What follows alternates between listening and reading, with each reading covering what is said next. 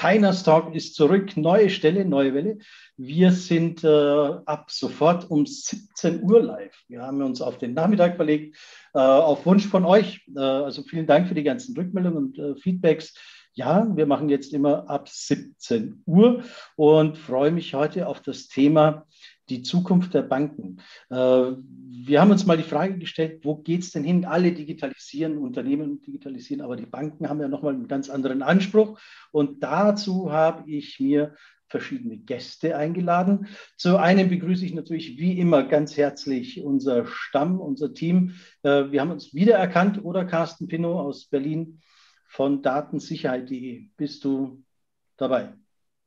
Ja, ich bin dabei und wir erkennen uns wieder. Ich freue mich auch auf dem neuen Programmplatz, wie man äh, ja sonst immer so sagt, äh, zu sein. Äh, das Thema Digitalisierung der Banken ist natürlich ganz spannend, denn da ist ja noch nicht ganz entschieden, äh, wie es so weitergeht. Andere Branchen haben es ja verpasst und deshalb äh, erhebliche Einbußen gehabt. Die Banken haben noch die Möglichkeit, da was zu tun und tun das ja auch. Und da sind wir gespannt, heute mal zu hören, wie weit der Stand ist und wo die Schwierigkeiten möglicherweise auch liegen. Zu der Meldung, die wir traditionell oder die Meldung, die wir traditionell aus unseren äh, Redaktionen bringen, ist eigentlich das Thema Ransomware immer wieder das große Thema. Wir hatten gerade in den USA eine Attacke auf eine Nuklearfirma auf den Lebensmittelbereich und natürlich äh, vor einigen Wochen auf diese äh, Pipeline dort. Äh, und das ist der gute Aufruf auch an die Banken aufzupassen, denn auch dort hat man ja Daten, ähm, die man gut behandeln sollte. Insofern ist das Thema Sicherheit hier mitschwingt äh, für uns auch ein ganz großes Thema. Ich freue mich auf den Talk, Werner. Perfekt, ich danke dir. Ja, ich freue mich auch. Begrüße als nächstes Philipp Schiede von Manage It, wahrscheinlich wieder aus den Bayerischen Bergen. Werner, du hast wie immer recht. Natürlich aus den Bayerischen Bergen. Sonnig ist es wunderbar. Ja, ich habe ja schon richtig Entzugserscheinungen bekommen in den letzten Wochen. Die Stimme ist jetzt allerdings geölt und ich freue mich tierisch auf unseren Talk. Auch mal erst ein herzliches Grüß Gott an die ganze Runde Schön, euch alle zu sehen. Ja, was gibt es Neues? Unser Mammutwerk ist fertig, die neue Ausgabe von Manageit mit 144 Seiten. Ja, und spannend daran ist das, wir haben ein Vertical dabei zum Thema Banking, Finance, Governance. Und das spiegelt äh, in den Inhalten genau die Themen wider, die wir heute behandeln werden. Also schön auf www.manageit.de gehen und runterladen, ja, oder mir eine E-Mail schreiben und ihr bekommt das E-Paper. Ich freue mich. Perfekt, danke dir. Äh, kleine Werbung am Rande darf vielleicht auch erwähnt sein. Ab Seite 18 gibt es von mir auch noch ein bisschen was. Zwar nicht zu Banken, sondern zu E-Sport, aber freue mich, dass ich hier auch einen Teil äh, mitfüllen durfte, sozusagen. Der German Mittelstand kümmert sich ja um viele Themen, unter anderem natürlich auch um die Digitalisierung, aber da geht es noch viel, viel weiter. So, jetzt äh, begrüße ich unsere Gäste für heute und äh, darf anfangen mit Stefan Keller. Stefan Keller ist äh, Chief Marketing Officer bei Norris Network AG. Norris ist ein, Rechenzentrumsbetreiber äh, mit Standorten in München, äh, Aschheim bei München und in Hof und ich glaube vielleicht noch ein oder andere dazu. Das wirst du mir aber gleich selber sagen. Stefan, herzlich willkommen. Danke, dass du dabei bist. Jo, vielen Dank, Werner. Ich lege dann mal gleich los. Wie gesagt, Stefan Keller, bin seit 2003 schon bei Norris, also ich ja schon zu den Urgesteinen. Und wer den Norris nicht kennt, zwei, drei Sätze, wenn es gestartet kriegt, natürlich. Loris ist ein klassisch inhabergeführtes Unternehmen, die in den Finanzsektor seit, seit ihrer Gründung eigentlich schon gestanden waren. Weil wir waren nämlich erstmal ein Internet-Service-Provider und haben erstmal geschafft, vom Fax-Broking, sage ich mal, diese Kunden in die Online-Ebene zu bringen, sozusagen. Deswegen sind wir schon länger auf dem Markt, haben also gut über 20 Jahre Erfahrung als IT-Dienstleister dann äh, in diesem Finanzbereich, sage ich mal, und kämpfen da ganz schön mit. Und deswegen ist der Erfolg auch für mich sehr interessant, weil es ja gibt ja viele Bestrebungen. Wir haben manche innovative Kunden, die eigentlich, sage ich mal, zum Thema Digitalisierung, die ich vorhin schon erwähnt habe, und 2000 schon ihre ersten digitalen Konzepte mit komplett automatisierter Kreditzusage eigentlich initiiert haben, die bei unseren Kunden sind. Deswegen sind wir eigentlich da intensiv drin gewesen und verfolgen natürlich von unserer Seite, seit wir das tun, natürlich auch diese ganzen wie vorhin Compliance-Themen, Innenrevisionsthemen, BIT-Themen, MARIS-Themen, die uns mehr und mehr beschäftigen. Und wenn ich den Vergleich von 2003 mal setze und sage, was wir jetzt machen, ist ungefähr das hundertfache an Aufwand. Also nur als personaler Aufwand, Papieraufwand, enorm, sage ich mal, ob es digital ist oder nicht, ist ja egal. Ne? Es ist ein Wahnsinnsbereich im Berichtswesen entstanden und es ist für uns natürlich immer noch kein Ende zu sehen, dass es irgendwie aufhört. Deswegen ist es ein sehr interessantes Thema. Wir haben uns darauf spezialisiert. Wir haben eigene Innenrevision, wir haben eine ganze Second äh, Defense-Ebene, die sich nur um solche Themen beschäftigt. Das heißt, das ist eine Sache, wo wir eigentlich auf dem Markt sind. Und wie es der Wanner schon erwähnt hat, wir haben in Nürnberg die einer der modernsten Rechenzentren mit TÜV TSI Level 4 jetzt hat. Level 4, das hat ja keiner. Da sind wir auf der Ebenenspitzen. Und deswegen sind wir in diesem Sektor Banken und Finanzdienstleistungen sehr stark verhaftet, weil, wenn die Bundesbank mit ihrem Prüfer mal kommt, sind wir so, glaube ich, kann man schon sagen, sind wir so ein Aushängeschild, wie man es am besten macht. Klingt ein wenig arrogant, sorry, aber einfach mal besuchen und selber anschauen, sage ich mal, ne? dass man einen Blick dafür kriegt in Richtung und dann sieht er, wie das hingeht. Und aus der Grundlage haben wir zwischen Nürnberg eine Dual-Site, Nürnberg-München eine Dual-Site mit 100 Gig verschlüsselt mittlerweile, mit 100 Millisekunden Delay-Zeit und Hof hast du schon noch wo wir halt so drei Seiten aufbauen können. Und alles mehr so BSI, Grundschutz und, und Zertifizierung von oben bis unten. Da könnte jetzt eine halbe Stunde wahrscheinlich reden. Und wenn unser Vorstandskollege Achim dabei ist, der wird dann die Inhalte noch genauer erklären können. Aber das ist halt unser Spezialgebiet. Wir bieten für Ihre Banken möglichst hohe Sicherheit, Rechenzentrumsleistungen, und da gehört auch Cloud-Leistungen, Private Cloud, Public Cloud, äh, Native Cloud-Systeme, Betrieb von Core Banking etc. Das sind die Schwerpunkte, in denen wir tätig sind. Jetzt höre ich schon wieder auf, sonst kaper ich das Meeting. Ja, herzlichen Dank dafür für die kleine Einführung. Und äh, wenn man das Rechenzentrum besichtigen will, dann könnt ihr auch gerne mit mir mal sprechen. Denn im September, so viel Werbung dafür erlaubt sein, sind wir mit der Digiwiesen bei euch auch dieses Jahr wieder zu Gast vom 18. bis, also so lange sind wir nicht bei euch zu Gast an einem Tag, aber vom 18. bis 3, 18. September bis 3. Oktober findet die Digiwiesen statt. Jetzt äh, schauen wir mal, ob es klappt, Steffen äh, Leibesmeier, Head of Financing Digital Infrastructure der Hamburg Commercial Bank. Äh, ich habe es jetzt wunderbar hoffentlich abgelesen. Steffen, hörst du mich? ja, ich hoffe, ihr hört mich auch. Ja, perfekt, jetzt klappt Wunderbar, prima, super. Ja, also du nennst meinen Titel und ähm, also seit ich diesen Titel habe, ähm, da ist bei LinkedIn meine Subs, ähm, ja, Subscriber, ähm, also äh, I'm a wanted uh, man now, ja, also ich, die, die belagern mich alle äh, aus, aus, aus aller möglicher digitaler ähm, Infrastruktur, ähm, äh, kommen jeden Tag Angebote an die fünf Stück, ähm, äh, dass man doch bei der ähm, Hamburg Commercial Bank aufräumen könnte und äh, die digital ähm, äh, äh, nach vorne bringen könnte. Ich kriege jeden Tag an die drei Anrufe.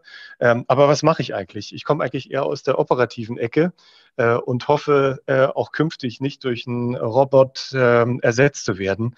Ähm, denn was ich mache, ist maßgeschneiderte Finanzierung. Ähm, ja, von Datencentern, äh, das, was ich gerade gehört habe, macht mich sehr, ähm, interessiert mich sehr. Also ich würde mich auf jeden Fall äh, zu Digiwesen anmelden. Ähm, äh, wir sind die Finanzierer äh, von, von Glasfasernetzen, von äh, Datencentern eigentlich so der ersten Stunde. Ähm, viele aus dem Kreis hier werden bestätigen, dass es lange Zeit, also bis vor zehn Jahren, sehr schwierig war, überhaupt eine Finanzierung zu bekommen, ähm, weil man sich unter dem, was da was da gebaut wird und was dort weiterentwickelt wird, einfach nicht so richtig äh, äh, was vorstellen konnte. Und es gab natürlich lange Zeit so die Angst vor der Killer-App, äh, die immer um die Ecke lauert. Ja.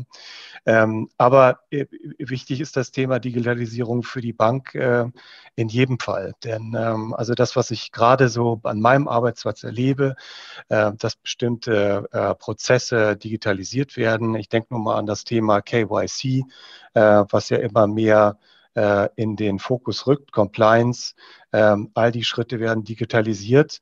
Äh, so wird es uns jedenfalls versprochen von den, äh, von den äh, Vorgängen her, von den Prozessen, dass die schlanker werden.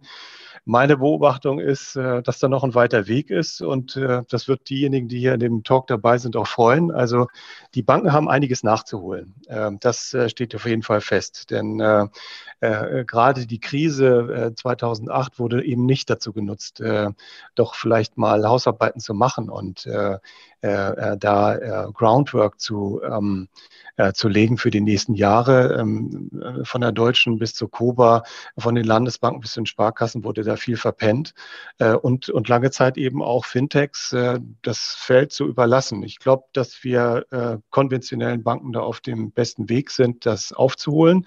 Aber es ist ein ganz schöner Kraftakt und äh, ist verbunden mit Blutschweiß und Tränen. Ähm, ja, und äh, ich meine, es hat natürlich auch äh, die Folge, ähm, äh, dass äh, die Mitarbeiterzahl ähm, weiter zurückgeht, äh, Stellen nicht neu besetzt werden. Ähm, unser CEO hat sich letztens mit der besten Cost-Income-Ratio aller deutschen Banken gerühmt. Äh, das ist nicht eine Ratio, mit der ich vom Kunden prahlen kann, ja?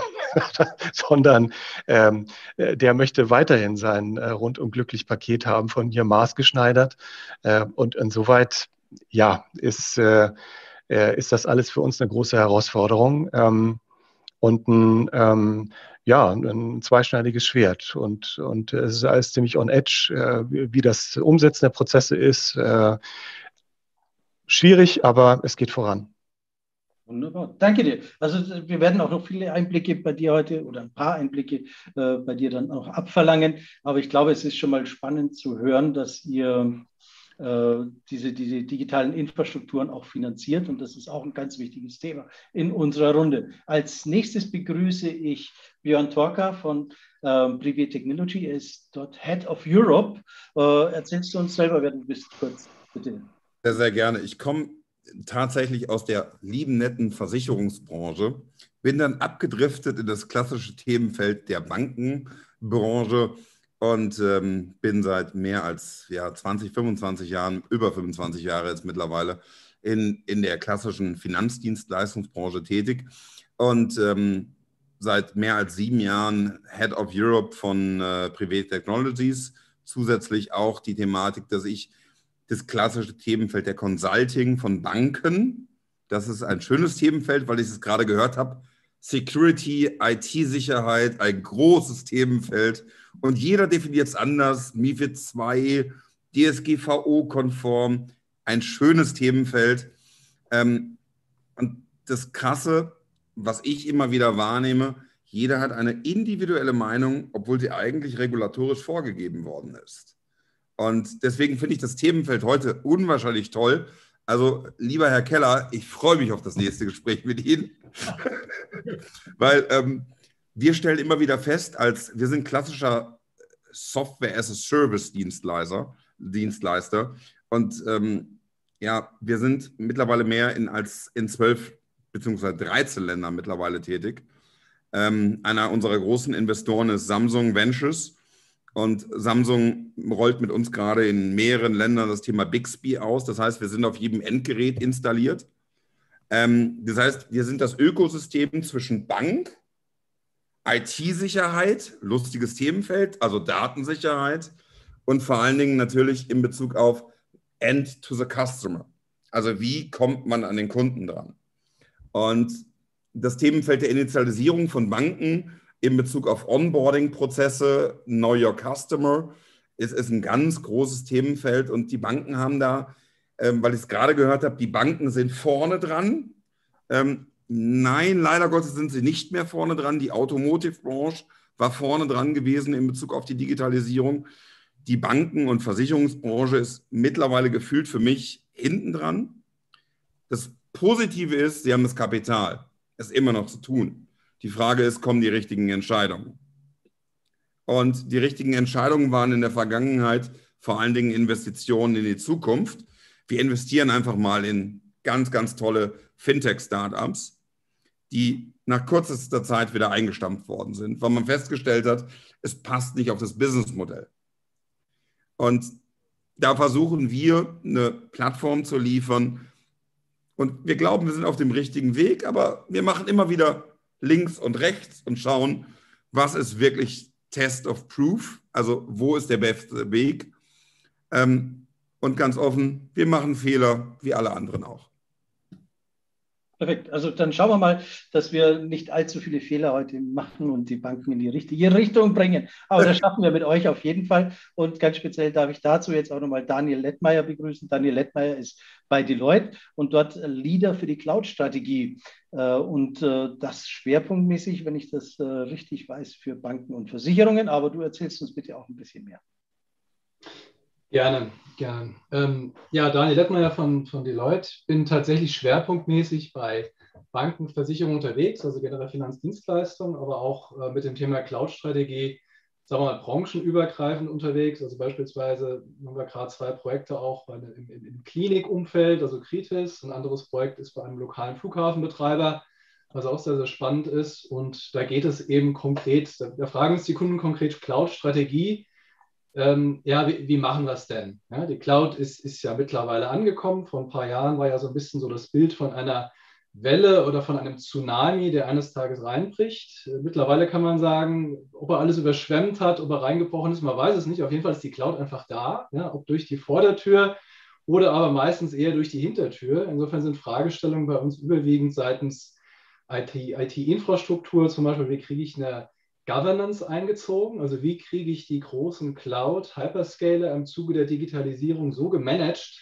dass ich ihnen sage, was sie tun und nicht sie mir eigentlich sagen, was ich tun muss. Ja, also Modell der geteilten Verantwortung. Und da ist es, und ich fand den Punkt spannend, ja, seitens Regulatorik ja eigentlich klar, was ich tun muss, ja, so die Theorie. Aber praktisch ist es ja so, und das ist schön für uns, für die Beraterzunft, ja, es ist dann doch halt immer wieder ein sehr, sehr, sehr großer Ermessensspielraum, wie dann bestimmte Datentypen, deren Schutzbedarf bewertet werden.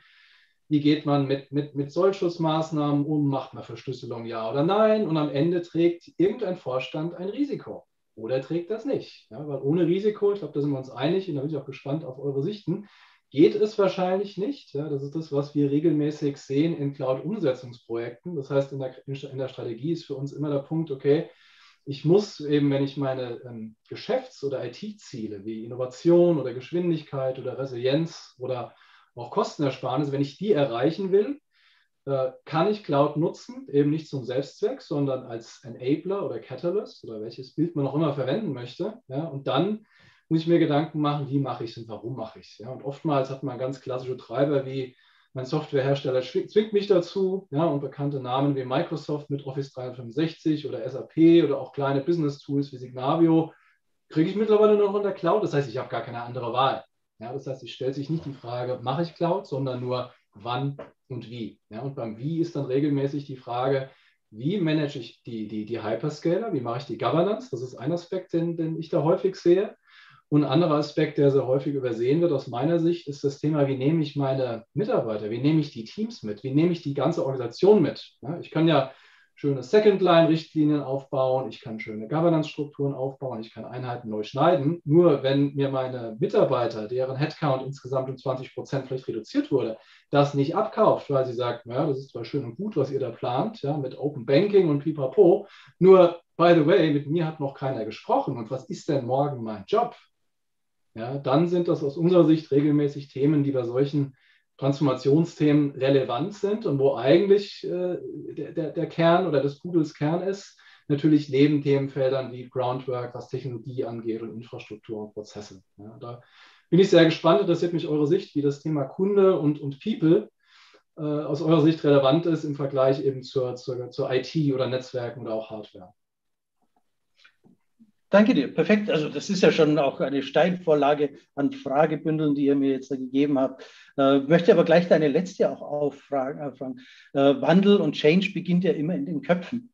Ähm, wenn ich jetzt mein Unternehmen variieren möchte, meine Bank, meine Versicherung, sage ich mal, das sind ja eher Dickschiffe, sage ich, auf, auf, auf, als, als Unternehmen. Wie, wie seht ihr denn die Chance, dass äh, der klassische besetzte Vorstand dieses, diese Denkensweise auch tatsächlich lebt und nicht nur irgendwo prophezeit und auf einem Blatt Papier stehen hat.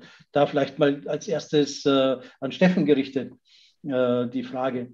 Wie siehst du das? Seid ihr flexibel genug als Bank? Sorry, wenn ich dich jetzt da direkt in die Pflicht nehme. Mikro bitte. Nein, ich höre dich immer noch nicht. Warum auch immer?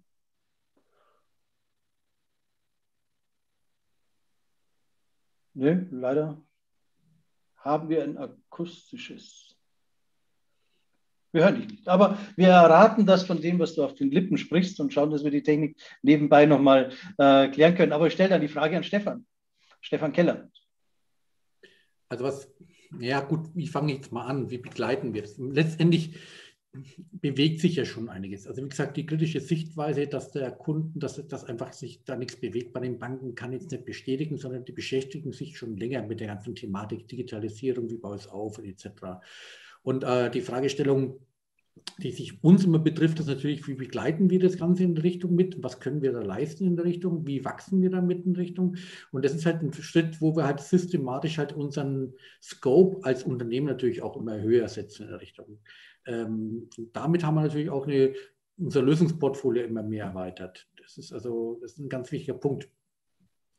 Ich habe bloß die Frage nicht gescheit zugehört, ich bin nur ganz ehrlich. Das ist ja wie immer, gar keine Frage. Nein, aber das war schon ganz okay. Also, Doch, ihr vielleicht die Antwort geben. Äh, weitergehen. Aber der Carsten hat eine Frage, er hat es mir schon hier im Chat angedeutet. Äh, also wenn ihr Frage habt, natürlich immer Handzeichen oder, oder im Chat ein X stellen, dann können wir das auch gleich direkt anklären. Carsten, bitte. Ja, danke, Werner. Wir haben im Vorgespräch schon darüber gesprochen, was so Kundenbindung anbetrifft, äh, ist ja ein ganz großes Thema. Und äh, die Frage ist, wie können denn etablierte äh, Player gegen Newcomer dort eigentlich angehen? Äh, äh, denn eins haben natürlich die Newcomer leichter, man baut die IT auf der grünen Wiese gewissermaßen, während man im Bereich der arrivierten Banken natürlich regulatorische Vorgaben hat und auch eine ganze Menge Legacy-Systeme, die es natürlich ein bisschen äh, schwieriger machen. Wir haben es vorhin gesagt, als kleines Stichwort noch dazu, äh, wenn ich eine Überweisung mache, äh, ist es mir eigentlich egal, welche Bank es macht. Es soll möglichst schnell gehen und ich will wissen, was es kostet. Ähm, äh, so, also für mich ist die Kundenzufriedenheit ein ganz großes Thema. Vielleicht mal zu diesem Thema würde mich interessieren, welche Bestrebungen es da gibt. Gerne, wer will darauf antworten? Ja, du, du schaust schon. Mag, oder wenn ich darf, würde ich gerne darauf antworten. Ja, unbedingt. Wir haben aber einen tollen Gast auch mit dabei, das ist der Gökhan. Ähm, und ähm, also ich glaube, wir können ein Themenfeld festhalten. Das Themenfeld der Kundenzufriedenheit ist das definitiv größte Themenfeld.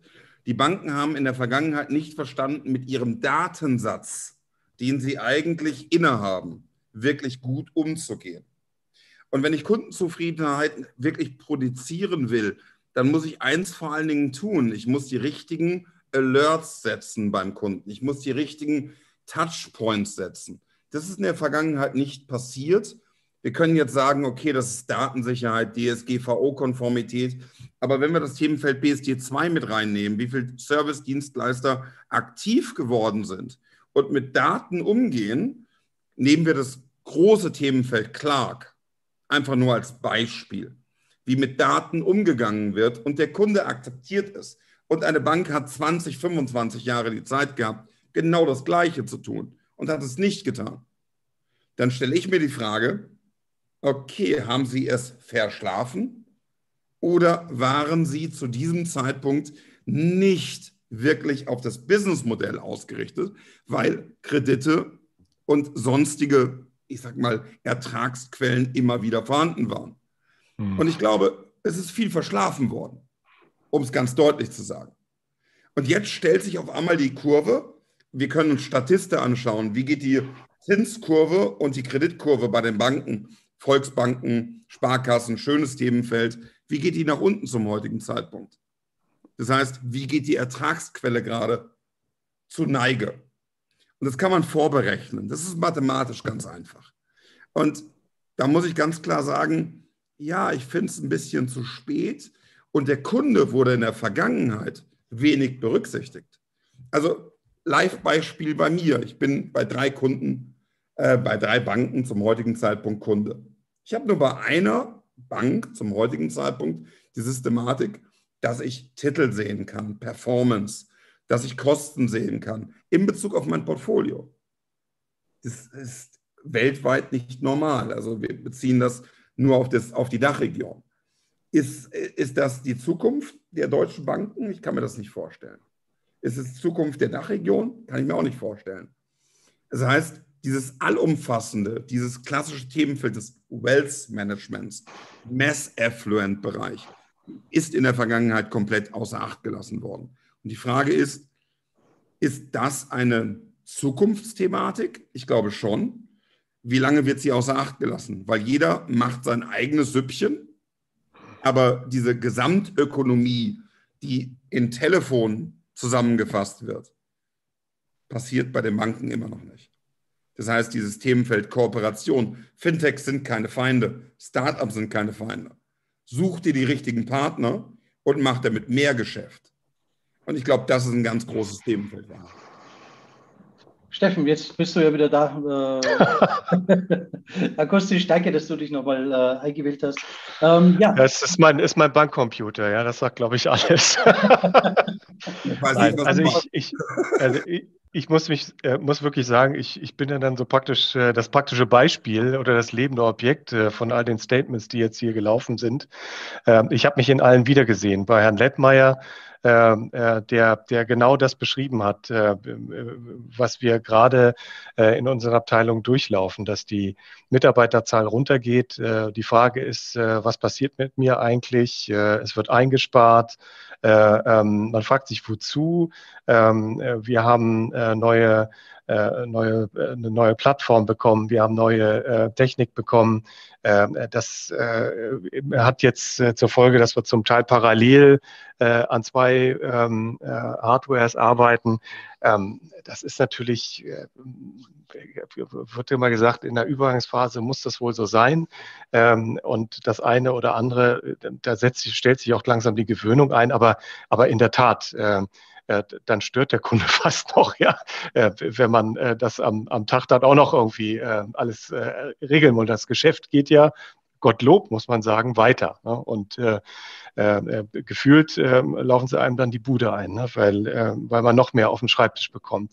Und ich habe mich auch gerade wieder gehört in dem in dem äh, Statement von Björn Tocker. Denn letztendlich, äh, ich mache jetzt seit fast 30 Jahren Banking, äh, kann mich noch gut erinnern, wie in den in 90er Jahren ähm, in den Vertriebsrunden dann die Listen auf den Tisch geknallt werden und so. Wer kennt denn jemanden, der in einem Schützenverein ist so? Ne? ja, als Vertriebler denkt man nur, ach Gott, lasst mich doch damit in Ruhe. Ja, so. Äh, aber es ist genau das Thema. Also das ist alles vergessen worden. Ne? Und jetzt will man schnell aufholen, äh, hat den Schatz, den man, äh, der, der, ist ja auf SAP, es ist ja alles da. Die Häkchen sind überall gesetzt, aber ähm, äh, der, der, der Schreck äh, mit der DSGVO Ordnung, äh, der dann da einsetzte. Äh, und die Panik. Äh, und natürlich jede Bank hat eine starke juristische Abteilung, die dann mit erhobenem Zeigefinger durch, durch die Reihen läuft und sagt, also Leute, ihr habt es zwar, aber vergesst das alles wieder. Ne? So, ähm, dann, dann kann man eben damit auch nichts weiter anfangen und muss es irgendwo wieder dann einkaufen und das dann letztendlich auch wieder in die, in die Plattform mit einimplementieren. Wir reden mit Fintech, wir reden mit äh, mit ähm, Startups. Äh, wir, wir, sind äh, involviert auch in Specs. Ähm, aber äh, das Ganze hat natürlich immer auch etwas Abenteuerliches, ne? denn äh, es gibt ja viele Kollegen, die oldschool sind und äh, ja, die also dann auch ähm, so ein Thema dann auch mal aussetzen. Ne? Und da ist die Frage, ob wir da eben nicht noch weiter was verpennen. Also was mein Haus angeht, mh, hm, jetzt bin ich weg. Nee, wir nicht. Okay, gut. Äh, was mein Haus angeht, bin ich eigentlich guter Dinge. Ne? Das, ähm, da haben wir jetzt äh, sehr viel versucht aufzuholen äh, und sind auf einem guten Weg. Ähm, das ähm, hoffe ich einfach, dass da die anderen Häuser auch mitziehen, ja, und dass wir da nicht irgendwann auf allein auf weiter Flur sind. Aber Herr Lettmeier, glaube ich, hat auch einen wichtigen Punkt gesagt. Jeder fragt sich dann selber, wo er dann da bleibt, ne? nicht nur sein Haus. Ja, Daniel, da, da vielleicht dann gleich an dich auch nochmal gewendet. Customer-Centric ist ja immer das Zauberwort. Und gerade mit viel Daten kann man ja auch viel, viel bewegen. Ist das dann mit dem, äh, ist das ein, ein, ein, eher ein Problem für eine Bank, wenn ich mich, äh, sage ich mal, zu sehr äh, auf, auf den Kunden einlasse und die SGVO in Kraft setzen muss und, und, und? Oder ist das eher der Motivator für eine Bank, noch größer zu werden und einfach das große Portfolio mit anzubieten?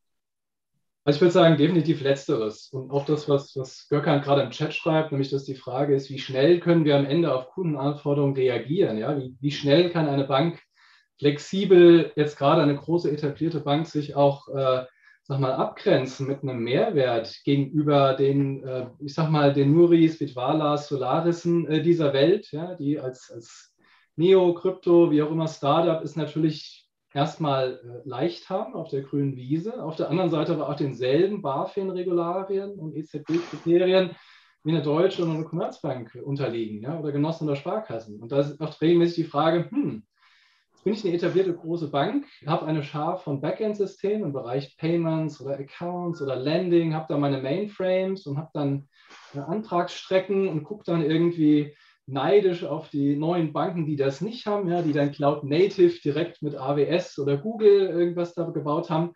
Am Ende sind sie ja alle gleich vor dem Regulator. Ja, und unsere Prüfungskollegen bei Deloitte bestätigen uns das auch. Es, am Ende ist es alles gleich, es ist eine Frage der Auslegung. Und es muss aber gleichzeitig, gleichzeitig darf dieser regulatorische Datenschutzaspekt kein Bremser sein, ja, im Sinne von äh, sag mal, Reichsbedenkenträgertum. Ich sehe immer wieder Folien, wo es dann heißt, vom, vom CISO oder Head of Compliance, wir dürfen nicht, wir können nicht und wir würden gern. Ja? Und auf der anderen Seite haben wir die Fachbereiche, die sagen, hey, wir müssen Vertrieb machen, wir wollen kundenzentrierte Produkte machen, wir wollen den Kunden hybrid ansprechen über Omnichannel. Wir brauchen da Geschwindigkeit, wir brauchen Ressourcen on Demand, wir brauchen KI-Services. Ne? Liebe IT, ich hätte die gerne, wann kriege ich die denn? Kriege ich die morgen, nächste Woche, in sechs Monaten? Und wie viel kostet mich das denn ja, pro Monat? Muss ich da dafür bezahlen, dass ihr Server kauft?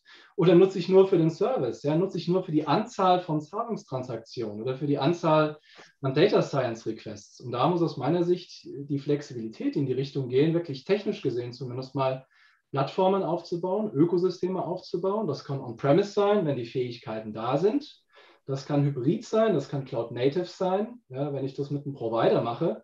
Wichtig ist, dass ich als Bank hergehe, diese Möglichkeiten nutze, dass ich meinen Mitarbeitern die Möglichkeit gebe, auch da drauf zu gehen, also auch zu lernen, also Upskilling zu betreiben und denen dann auch entsprechend über Job Enrichment deren Jobs von morgen zu sichern, auch die interne Akzeptanz zu holen. Weil die, die Erfahrung zeigt, dass nur wenn ich tatsächlich so eine, ich bin gleich fertig, ich sehe diverse Hände gehoben. Ja. Für die zwei Sätze noch zu Ende. Weil der Punkt ist, was wir sehen regelmäßig, die Use Cases, Kundenzentrierung und Datengetriebenheit. Das, sind, das, das, das lesen wir mittlerweile in jeder IT- und Cloud-Strategie. Wie setze ich das um?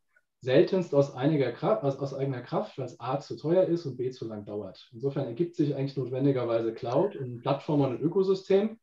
Und da ist die Frage, wie kriege ich das gemanagt und wie setze ich Leuchtturmprojekte rum, auf deren Rücken ich dann auch die Operationalisierung antreibe, was zum Beispiel Security und Governance und Compliance angeht. Weil ohne die geht es nun mal nicht, ist so, aber Praxisbeispiele zeigen ja, ist managebar. Ja, es geht, wenn man will. Perfekt, dann haben wir drei Wortmeldungen, glaube ich, wenn ich es richtig gesehen habe. Björn, Stefan Keller und dann äh, Philipp Schiede. Ähm, ja, Björn, bitte. Daniel, ich muss dir, also ganz ehrlich, du hast mir gerade so aus dem Herzen gesprochen. Also das war jetzt gerade so, das war so schön gewesen weil das Themenfeld der kurzfristigen Kundenanfragen, die eigentlich auf die Bank eingehen und die leider Gottes, Entschuldigung, wenn ich so sagen muss, ja, drei, fünf Jahre dauern und der Kunde erst dann eigentlich die Lieferung bekommt, wir reden vom Endcustomer, das kann heutzutage nicht mehr sein. Also bis ein Projekt aufgesetzt worden ist, bis es in Gang gerät, bis eigentlich eine Auslieferung zum Live-Standort funktioniert, ist, ist unglaublich. Und der, der Punkt ist, haben die Banken die Zeit, sich das noch leisten zu können, die nächsten 5, 10, 15, 20 Jahre? Und ich glaube, nein. Und wir hatten vorhin das Themenfeld gehabt, wir haben genügend Einflüsse von außen, die, die essen alle am Keks ein bisschen mit. Und einfach dieses Test, Operating Test, schnell etwas tun und nicht viel Geld initialisieren, sondern einfach coole Leute an Bord nehmen und zu sagen, lass uns einfach mal ausprobieren. Und lass uns danach schauen, ob es DSGVO-konform, ob es MIFID 2-konform ist, weil wir gehen vorher nicht live. Ist eigentlich ein schönes Themenfeld.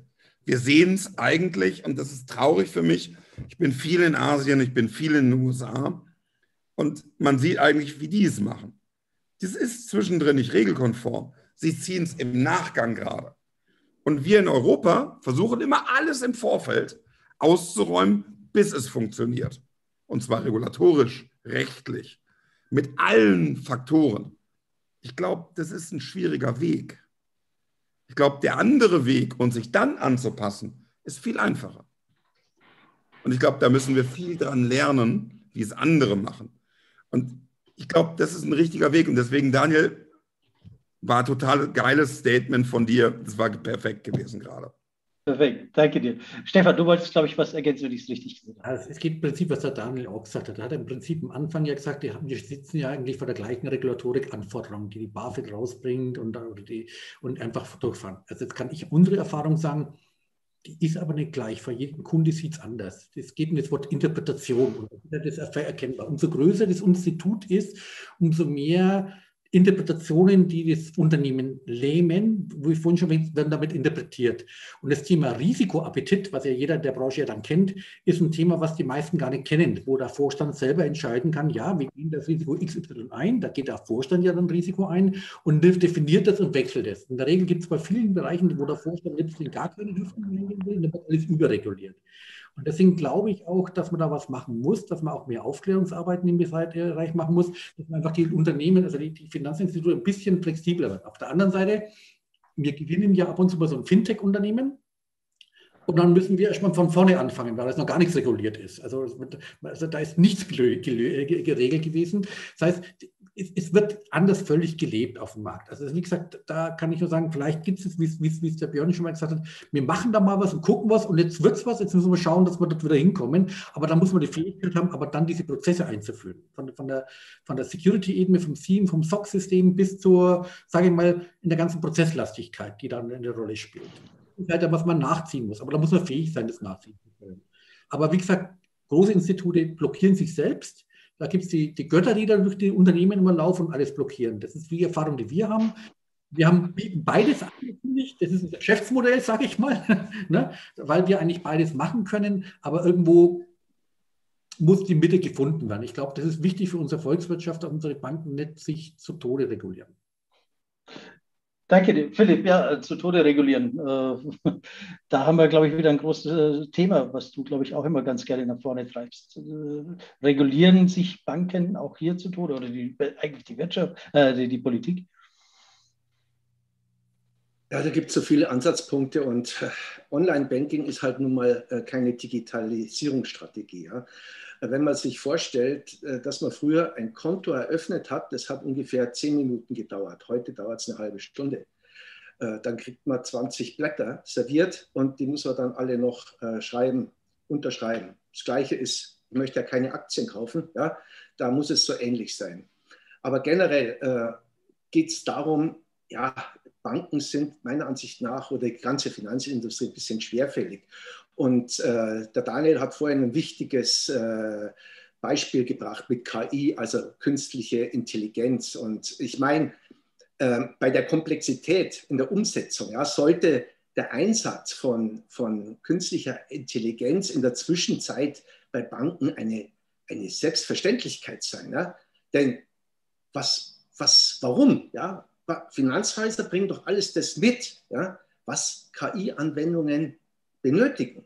Die Daten, die Aufgaben und die Business Cases. Aber das geht alles so, ja, sagen wir es mal so, mit angezogener Handbremse. Und ich meine, da muss noch viel äh, Gas gegeben werden. Das glaube ich auch, aber weil du es auch gerade gesagt hast, hier das Ganze äh, mit, mit, mit äh, Handy und so weiter, Handybanking. Und da reden wir jetzt nicht nur um, die, um, das private Banking, sondern auch natürlich das Business Banking. Wie austauschbar ist denn heutzutage äh, eine Bank äh, für den Kunden, für das Unternehmen? Ähm, wenn ich äh, jeden Tag irgendwie 300 Businesskonten irgendwo öffnen könnte, weil ich jeden Tag irgendwie 300 Mails kriege von äh, europäischen äh, Banken, die ganz schnell, ganz fit und ganz toll sind und innerhalb von drei Minuten hast du ein Konto eröffnet, was stimmt. Also ich habe es selber auch ausprobiert. Finde ich ja, wie unterscheiden wir uns denn da oder wie kann eine Bank sich da, da positionieren? Wer hat da drauf? Steffen vielleicht? Ja, wie gesagt, also ich bin, bin in der, im Freudenhaus der Bank äh, sozusagen. Äh, wir machen maßgeschneiderte Finanzierung. Ähm, äh, gut, das werden die Herren, die hier in der Runde sind, wahrscheinlich von jedem Banker hören, dass er unersetzbar ist. Aber ähm, äh, bei mir ist es wirklich so. Äh, nein, also wir haben ähm, äh, tatsächlich ähm, viele, ähm, viele Prozesse, die wir, die wir verschlankt haben und ähm, äh, die ja äh, auch jetzt mittlerweile obsolet geworden sind. Ja. Ähm, bei mir ist es tatsächlich so, dass wir ähm, in, in unserer Abteilung wirklich maßgeschneiderte Sachen machen, äh, uns anhören, was die, die Kunden haben und so eine Umsetzung eines beispielsweise eines Glasfaserprojektes ähm, ähm, von, der, von der Erstansprache vom Kunden oder äh, beim Kunden äh, bis zur ersten Auszahlung kann gut und gern äh, anderthalb Jahre dauern. Ne? Also da braucht man ähm, äh, wirklich langen Atem und ähm, ich habe äh, mein ganzes Leben lang ähm, ähm, zumindest als Banker äh, Infrastruktur finanziert und ähm, da braucht man eben auch ein großes Frustpotenzial. Ne? Also das äh, sind auch Projekte, die, ähm, die dann ab und zu auch mal in der Tonne am Ende enden, ähm, weil man den Zuschlag nicht bekommen hat. Also ich bin da wahrscheinlich ein schlechtes Beispiel. Nein, aber ein wichtiges Beispiel, weil eben um diese ganze Finanzierungsgeschichte, auch eine Bank muss, muss Digitalisierung finanzieren, aber dazu ist es halt natürlich nötig, dass ich ein Image habe, ne? halt ein mhm gewisses Standing habe. Und das ist eben für mich nochmal kurz die Frage, vielleicht auch Richtung äh, Daniel äh, nochmal gerichtet. Wie identifiziere ich mich denn als Bank? Wie, wie setze ich denn meine Marke, sage ich mal, so bewusst ein, dass ich eben nicht schneller austauschbar bin? Wir hatten vorhin im Vorgespräch auch noch kurz das, das, das Thema Automarke. Bin ich im BMW, im Mercedes oder sonst irgendwo drin? Spielt heutzutage keine Rolle mehr, wenn mein Handy reinpasst. Ja, also ich, genau, wenn, wenn ich darf, ich, ich äh, ergänze oder kommentiere das gerne. Ähm, was wir regelmäßig ja auch oder bei die Leute versuchen zu kommentieren mit einer Outside-In-Sicht, auch von anderen Branchen, wie positioniert sich jetzt zum Beispiel eine, eine Pharmabranche ja, oder äh, Automobilhersteller, die was Digitalisierung angeht, zugegebenermaßen recht weit sind. Pharma, Dito, Life Science Healthcare momentan ohnehin. Ja im Vergleich zu anderen Bereichen der Branchen, die vielleicht noch nicht so weit sind? Oder würde ich jetzt mal äh, Banken und Versicherungen mit Verlaub einfach mal so im gesunden Mittelfeld ähm, positionieren? Weil ich glaube, da gibt es andere Felder, wo äh, noch mehr Potenzial besteht, sagen wir es mal so. Und da zu fragen, was sind denn Assets? Ja? Was sind denn Werte? Ja? Ist es Loyalität? Ist es Geschwindigkeit? Ist es ein gewisses, äh, ja, eine gewisse eine gewisse Positionierung bei bestimmten Zielgruppen oder sind es auch Themenfelder wie hohe Sicherheit? Ist es Made in Germany tatsächlich? Kann ja auch sein. Ja, mhm. äh, wenn man sich auch zum Beispiel das Gaia X äh, anguckt, wo Europa ja versucht, sich im Prinzip selber eine eigene Digitalisierungsbrand oder auch ein eigenes Bollwerk zu äh, errichten gegenüber den großen Hyperscalern in USA und, und in Asien, da sieht man ja auch, dass es durchaus schon dieses Thema Trust, ähm, Sicherheit, Vertrauen, dass das einfach ein Asset ist, was, glaube ich, auch für Endkunden relevant ist oder relevanter wird. Ja, ich glaube, immer mehr Kunden werden sich bewusst darüber, dass es schon relevant ist, ob man jetzt seine Kinder- oder Babyfotos zum Beispiel über Facebook oder WhatsApp eben teilt oder nicht, wissen, dass bestimmte Daten einfach sensibel sind und im Kontext von Cybersecurity oder Hackerangriffen auch äh, viel, viel schneller heutzutage in Kanälen sind, wo man sie nicht haben will. Punkt. und von daher glaube ich, dass das Thema Sicherheitsempfinden oder Resilienzempfinden bei Verbrauchern höher ist und steigt. Auf der anderen Seite ein bisschen Frustration und ärgerlich mit, mit Cookies und Website und DSGVO-Restriktionen, wo man oft in Deutschland bis in das Ziel übererfüllt, aber auf der anderen Seite einfach dieses Sensibilität zu schaffen. Inwiefern ist eine gute Governance, Sicherheit, Vertrauen, inwiefern ist das ein Asset, sodass sich für mich als Kunde vielleicht auch einen sinnvolle, ein, ein Nutzen daraus erschließt, vielleicht ein paar Euro mehr zu zahlen oder statt einem freien Konto vielleicht wirklich 1,99 Euro zu zahlen, weil ich weiß, es ist sicher, ich habe die und die Verbindung, es hat den und den Mehrwert. Ich glaube, in die Richtung muss es gehen weil sich als Bank rein als Plattform hinzustellen, als White Label Anbieter für Accounting, Lending, Merchant, Payment Services, kann gemacht werden und einige große oder europäische Banken machen das ja auch. Gibt es ein paar Beispiele? Rabo, ING, Santander, Pipabo mit, mit White Label Produkten. Aber ich glaube, in Deutschland ist es tatsächlich ein Feld, die, die großen, die klassischen, die sehe ich wirklich mit dem Themenfeld Positionierung über Trust, über Brand und über Vertrauen. Ja, ich glaube, das ist äh, immer die Nummer, was nichts kostet, ist nichts wert. Das ist halt nun mal so. Und ich glaube, dementsprechend, wir sollten uns alle auch wieder daran gewöhnen, für Dienstleistungen, für Services äh, auch mal Geld äh, zu bezahlen. Äh, wenn ich dann adäquat im Gegenwert natürlich auch was dafür bekomme. Ähm, mit einem kleinen Blick auf die Uhr muss ich äh, schon wieder fast sagen, wir haben äh, das Ende erreicht. Ähm, wie immer ist das ein sehr kurzer Talk. Äh, wir wollen das Thema vertiefen, natürlich beim DI4, äh, der, der, beim German Mittelstand und natürlich auch bei den ganzen Medien und würde mich freuen, wenn wir uns da in dieser Runde vielleicht verkleinert und, und auch im Dialog mal äh, wiedersehen. Wir haben jetzt noch eine kleine interne Diskussionsrunde, bevor ich jetzt hier äh, den Livestream beende. Äh, das heißt, unsere Gäste hier im, Stream können, äh, in, in, der Zoom-Session, können gerne mit uns weiter diskutieren. Und äh, wir schalten jetzt leider die, das Publikum bei YouTube und bei Facebook weg. Habe aber noch eine ganz kurze Schlussfrage Richtung Steffen. Das Ganze kostet ja immer Geld. Also wenn ich digitalisieren will, sind das Projekte, die man auch bezahlen muss. Wie wie, also ich brauche eine, eine, vernünftige Anbindung, eine Glasfaseranbindung. Ich brauche das richtige Rechenzentrum. Entweder ich gehe zum, zum Stefan Keller, äh, zu Norris oder ich baue mir selber eins. Äh, was auch immer. Äh, aber ich muss irgendwie was in die Hand nehmen, wenn ich Digitalisierung vertreiben will. Du bist der Mann, der, der Gelder verteilen kann, darf, will. Wie schwer ist es denn, digital äh, Projekte überhaupt finanzieren, zu finanzieren? Also ich mache das jetzt seit äh, zehn Jahren und äh, ähm, ja, es wird immer einfacher, würde ich sagen, ja, weil, weil wir haben eine Geldschwemme äh, und äh, die, die kommt einfach im Markt auch an. Das nächste ist, dass wir auch äh, ein sehr großes Investorenfeld hat, was sich dem Thema auch angenähert hat.